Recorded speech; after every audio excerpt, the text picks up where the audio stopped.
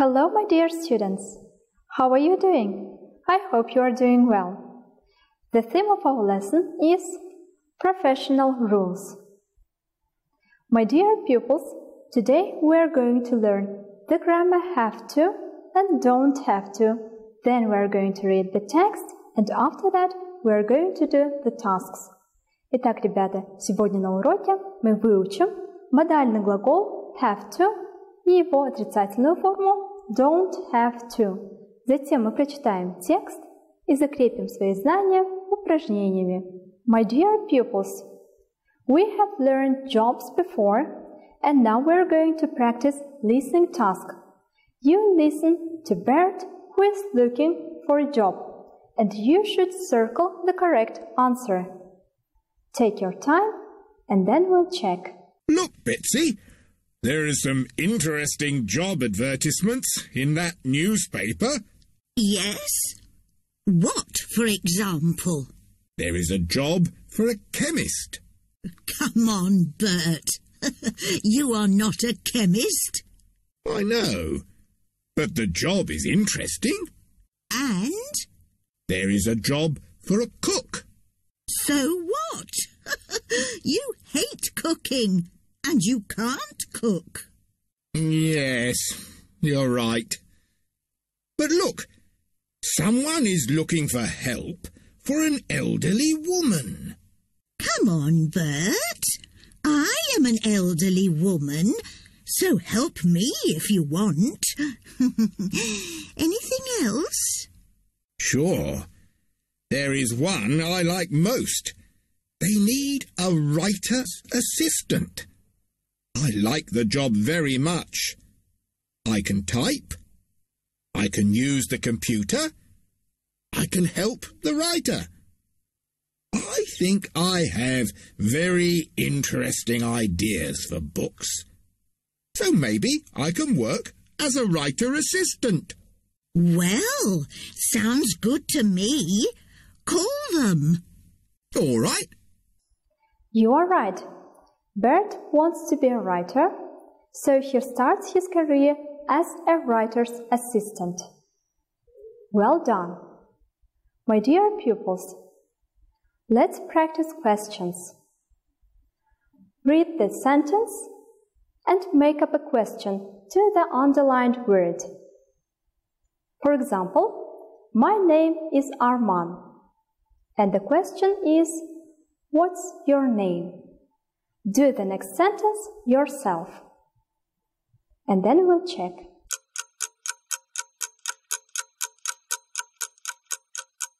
Are you ready, my students? Let's check your answer. How old are you? I'm 12 years old. The next question. Right you are. Where are you from? I'm from Kazakhstan. You are right. The question should be What's your mom's name? My mom's name is Aygul. Now, pupils, let's learn the grammar rule have to and don't have to. We use have, has to to show obligation. Мы употребляем модальный глагол have to или has to чтобы показать обязательства.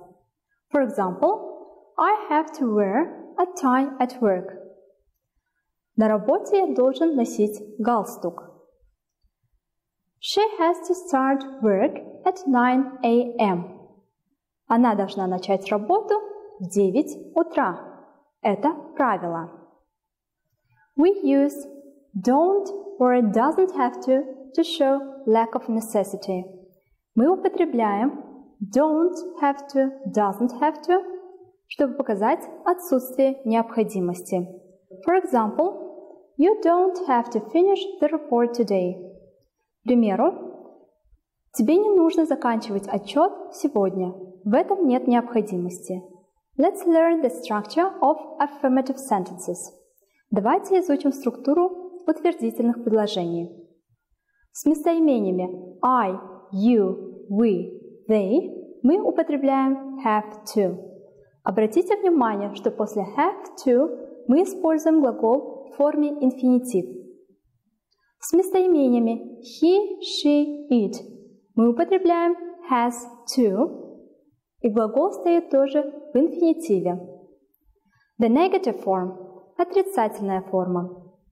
Мы употребляем don't have to с местоимениями I, you, we, they. После don't have to мы ставим глагол в инфинитив. С местоимениями he, she, it мы используем doesn't have to. Также употребляем инфинитив. My dear pupils, let's learn interrogative sentences. Давайте сейчас изучим вопросительное предложение. В вопросительных предложениях мы вспомогательный глагол ставим на первое место. For example, do I have to send an email? Does she have to work long hours? И на эти вопросы вкратце мы можем ответить Yes, I do, or Yes, she does. No, they don't, or No, it doesn't. Try to remember. My dear students, let's practice. Fill in have to, has to, or doesn't have to. Max and Amy have got new jobs. Look at what they have and don't have to do. Max is a baker, as you see, and he has to get up early, be friendly, be creative, and work long hours. Amy is a police officer, and she has to be fit, be friendly, protect people, and work long hours. Take your time and then we'll check.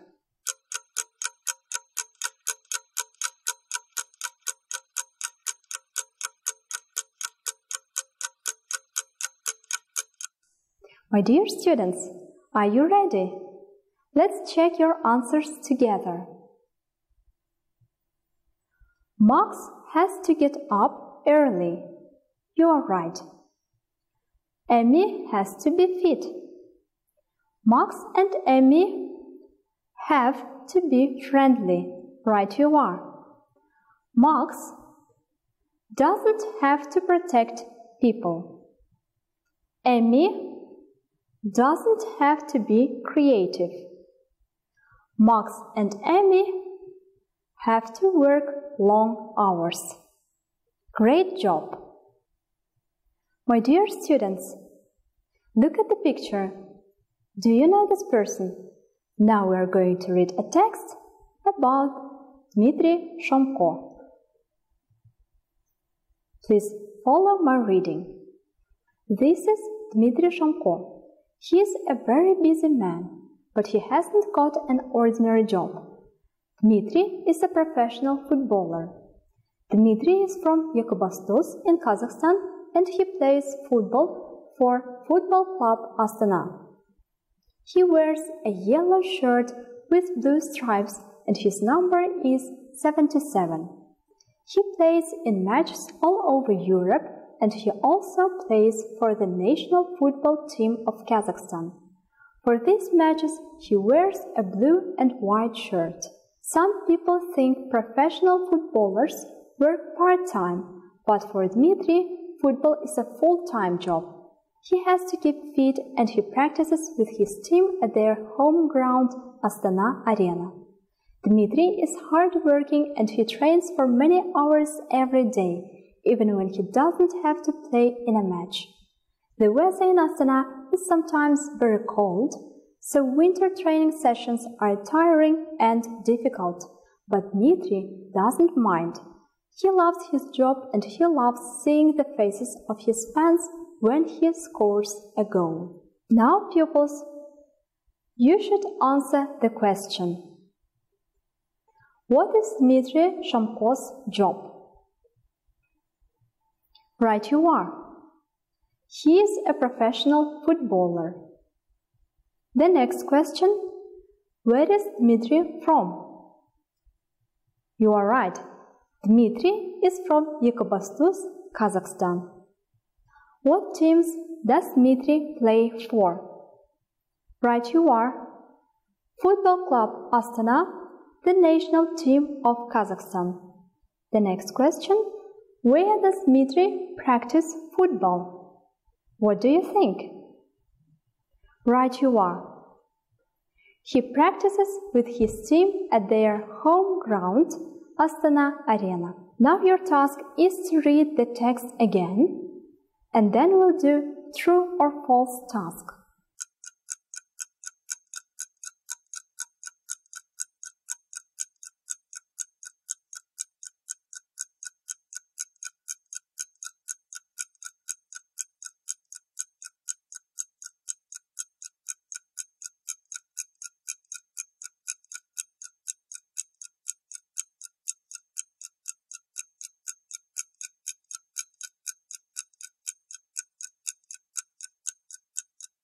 My dear students, your task is to mark the sentences true or false. Take your time and then we'll check. My dear students, I see that you are ready. Let's check your answers. Dmitri's number is 77. What do you think? Is it true or false?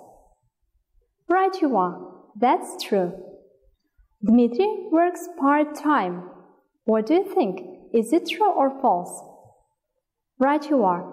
That's false. He works full time. Dmitry only plays football matches in Kazakhstan. What do you think? Is it true or false?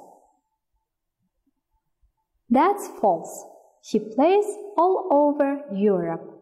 And the last question. Dmitry enjoys making his fans happy. That's true. Well done. My dear students, thank you for being active. You've made great job.